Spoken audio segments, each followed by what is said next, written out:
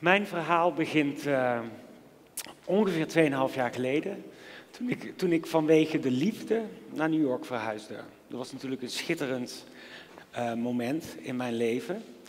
Maar na een maand of twee, toen uh, had ik een enorme off-day, ineens. Je mist je familie, je vrienden, je werk en je moet er maar zien hoe je weer een heel leven op gaat bouwen. En uh, toen dat gevoel mij overkwam, toen stond ik op het dak van een heel hoog gebouw.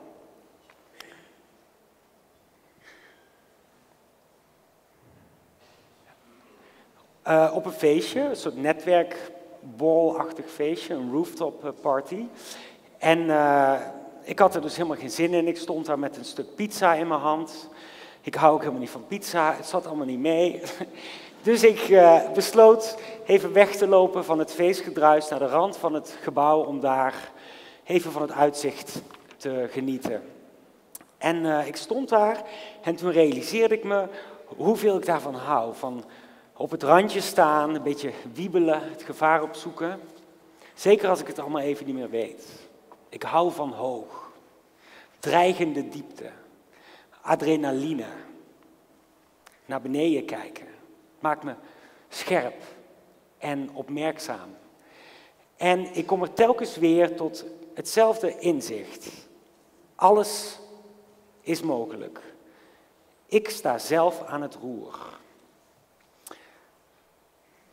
Aan het eind van deze talk weet u waarom hoogspanning opzoeken goed is voor de toekomst en het succes van uw organisatie. En waarom pizza daar een essentieel onderdeel van uitmaakt. 25 januari 2016, bijna een jaar later, bevind ik mij hier. Op de trappen voor het hoofdgebouw van de New York Public Library. Ik kijk omhoog en ik neem de marmeren kolos in mij op. Ik sta op de kruising van 42nd Street en 5th Avenue. Meer Midtown New York kan het niet worden. Palace of the People. En dat is een hele toepasselijke bijnaam, want dit gebouw is gratis toegankelijk voor iedereen die er naar binnen wil. En die trappen oplopen geeft een koninklijk gevoel. Wie is daar wel eens geweest? Mag ik handen zien? Mevrouw, u bent er nooit geweest, want uw hand zie ik niet. Kom een keer, dan leid ik u persoonlijk rond. Daar mag je me aan houden. En uh, ik geef nu vast een soort vertellende uh, rondleiding. Ik kijk om me heen en ik zie de twee marmeren leeuwen die de toegang bewaken. Patience en Fortitude. En ik ga naar binnen en ik zie Astor Hall. De Rose Main Reading Room. Bekend uit de film. Denk aan Ghostbusters. The Day After Tomorrow. Sex, Sex and the City. Maar dit gebouw is vooral bekend vanwege haar bijzondere collectie in de Humanities, Arts and Social Sciences. Er is een handgeschreven versie van de Declaration of Independence, door Thomas Jefferson handgeschreven.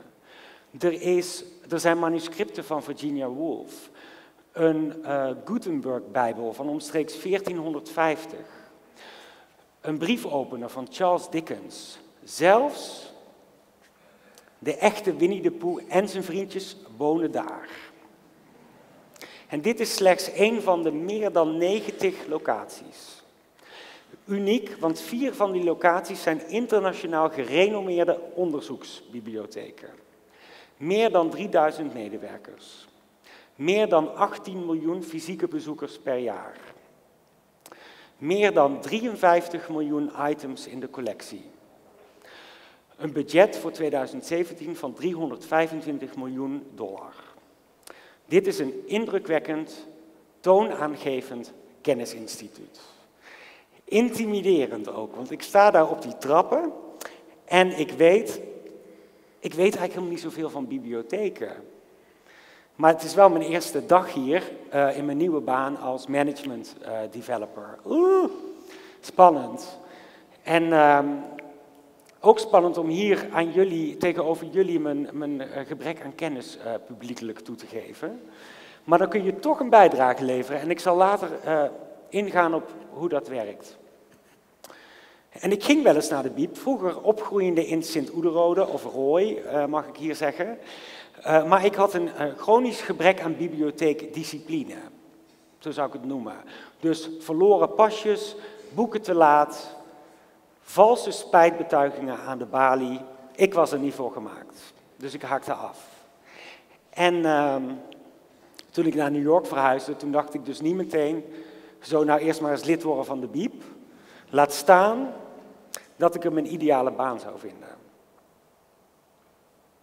In een van de eerste weken bezocht ik uh, de Hudson Park Library. En hier zie je hoe onze bibliotheken verspreid zijn over drie boroughs: Staten Island, Manhattan en de Bronx. Maar ik bezocht de Hudson Park Library in de West Village en uh, ik stond versteld hoe druk het was. Geen stoel, geen computer onbezet. Volwassenen werken aan computers, daklozen lezen de krant, jongeren maken hun huiswerk of spelen Minecraft op hun telefoon. En dat was nog niet alles. Ik loop naar boven, naar de eerste verdieping, en daar zie ik honderd peuters met hun verzorgers die luidkeels meezingen met storytime. De bibliothecaris op zijn gitaar, een popster. Knappe vent ook. Nannies zwijmelen. Geen wonder dat het zo, zo druk is. En dat is nog maar één van de vele verhalen die ik kan vertellen om de New Yorkse praktijk te illustreren. Ook over hoe achter de schermen al die meer dan 3000 medewerkers bijdragen aan het budget door aan advocacy te doen. Dus door brieven te schrijven naar de stad om meer geld binnen te krijgen.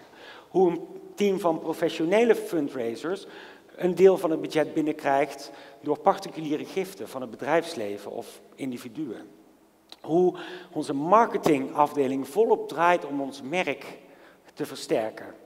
En hoe een afdeling special events ruimtes verhuurt in dat hoofdgebouw voor exclusieve uh, evenementen, bruiloften, bedrijfsfeesten, altijd buiten publieke openingstijden om. Zonder budget, geen bibliotheek en geen impact. Dat besef is diep doordrongen, zit goed tussen de oren.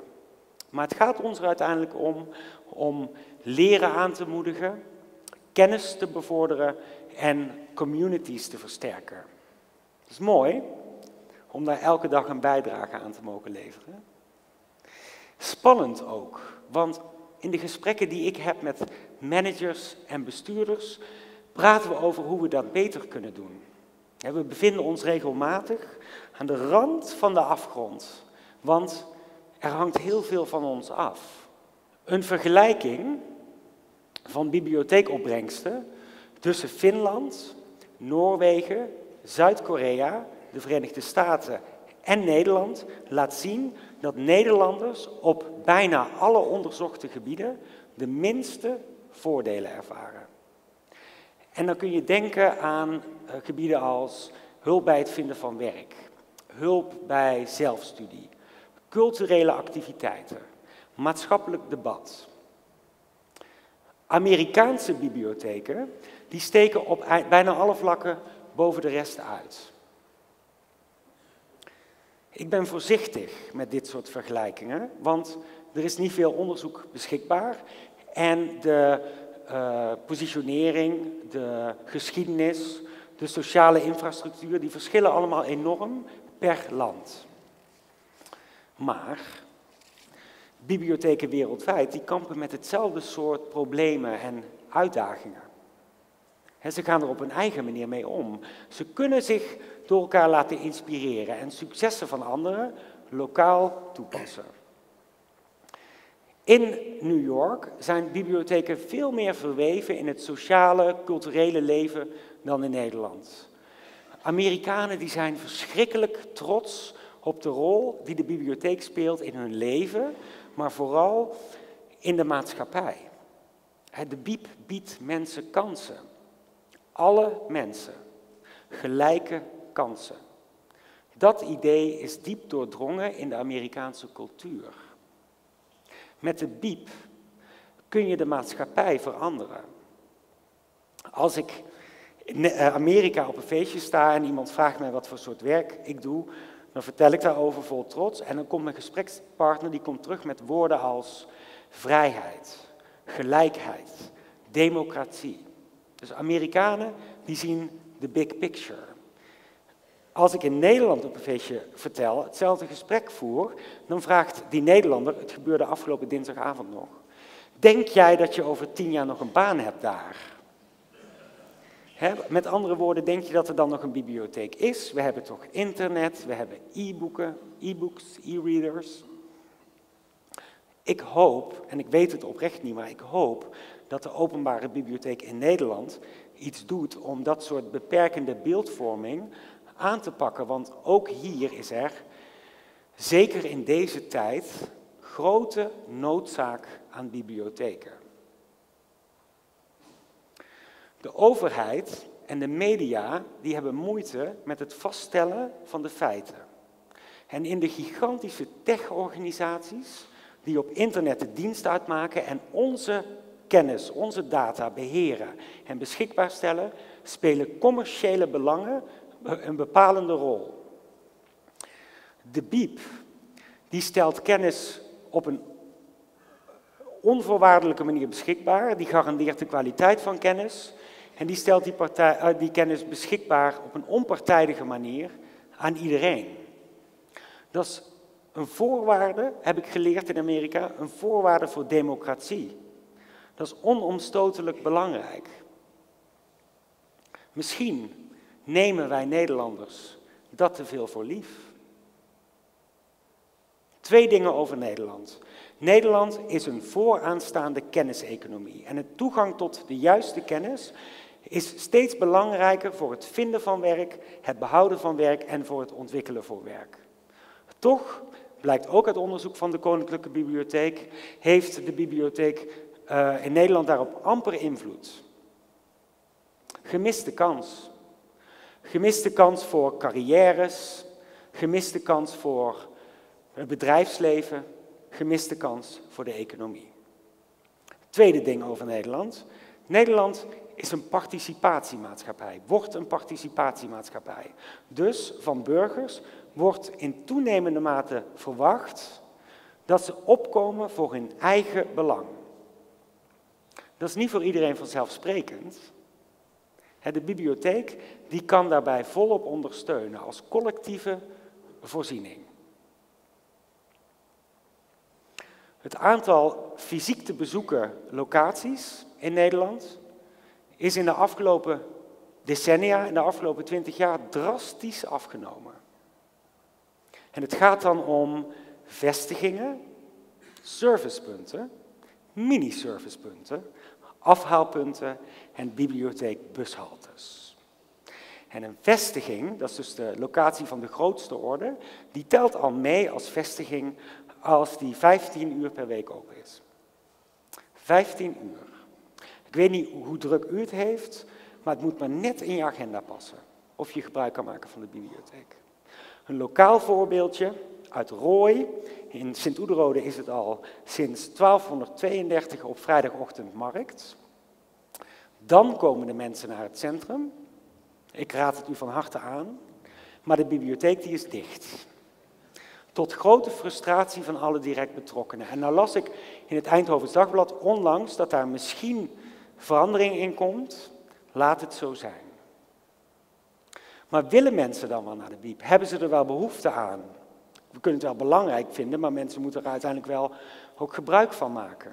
En dat is natuurlijk een probleem van bibliotheken, een uitdaging voor bibliotheken eh, wereldwijd. Hoe krijg je de mensen die er de grootste voordelen bij kunnen hebben naar binnen? Want die komen niet. Die blijven thuis. Die maken er vaak het minst gebruik van. Denk aan mensen die niet kunnen lezen en schrijven. Mensen die de taal niet spreken. Mensen die moeite hebben met het vinden van werk. Mensen die digitaal analfabeet zijn. Groot probleem. Maar die mensen valt niks te verwijten. Het is de taak en de verantwoordelijkheid van managers en bestuurders van bibliotheken in Nederland om het aanbod gewoon beter af te stemmen op de vraag. En ook om die mensen te activeren om gebruik te maken van de voorzieningen. Als het aanbod aantrekkelijk zou zijn, dan stonden we er allemaal voor in de rij. Want we hebben met bibliotheken goud in handen. We kunnen Nederland met bibliotheken veranderen. Onze maatschappij die kan, die, die kan zich ontwikkelen tot een maatschappij waarin inspiratie, feiten, ideeën, verbeelding een dominante rol gaan spelen. Een soort doorlopende TEDx-conferentie die heel de tijd maar doorgaat. Lijkt mij geweldig. En dan denken mensen soms te duur. Waar halen we het geld vandaan? Niet waar te maken. Te idealistisch. Ik heb geleerd in New York dat bibliotheken zich daar niks van aan hoeven te trekken van dit soort cynisme.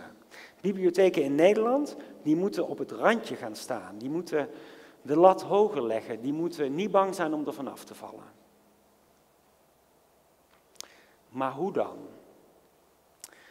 Dit is een foto van Reg Ravens. Dat is een van mijn helden uit eh, de wereld van de organisatieontwikkeling.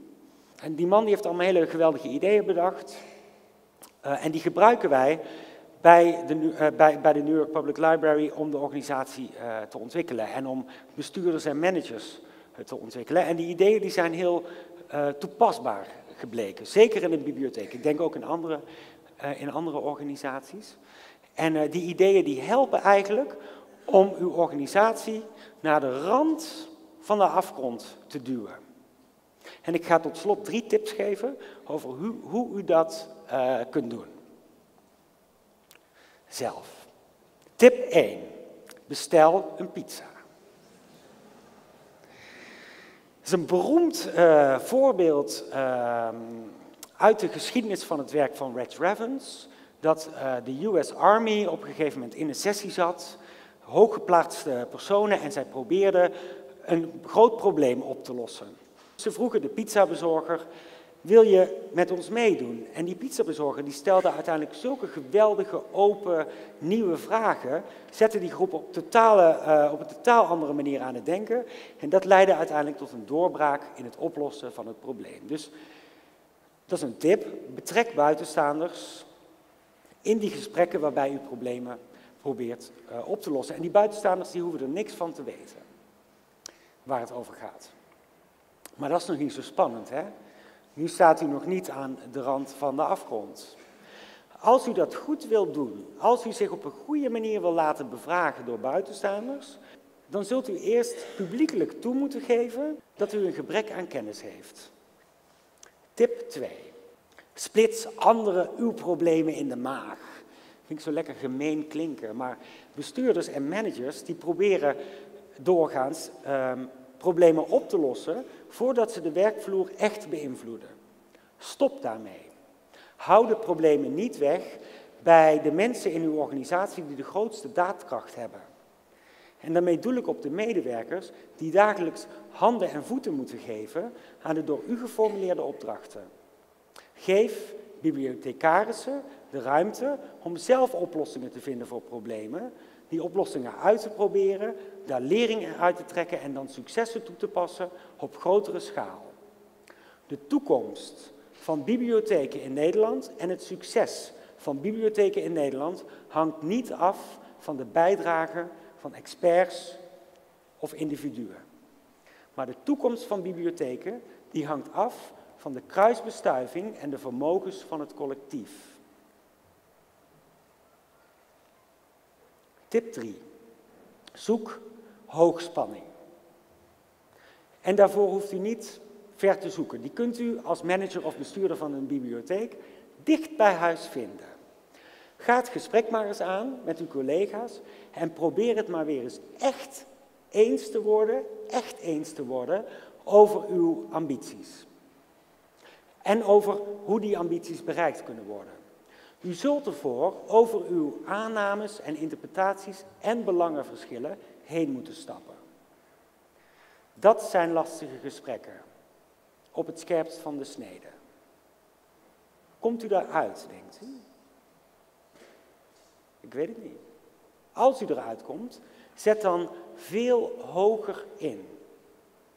Wolkenkrabber hoog. Verander Nederland. heb lef.